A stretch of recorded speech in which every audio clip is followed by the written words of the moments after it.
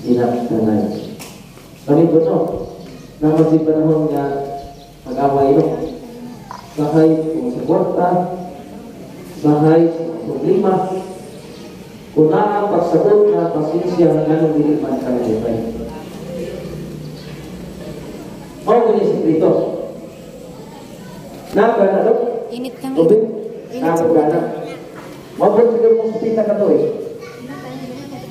Dari manutan at ang paligid. Nako ka ng pasensya o pagsinapdanay.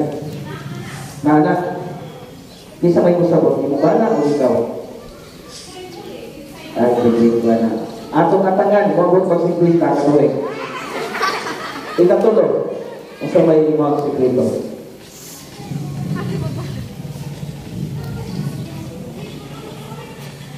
Sa Ginoo.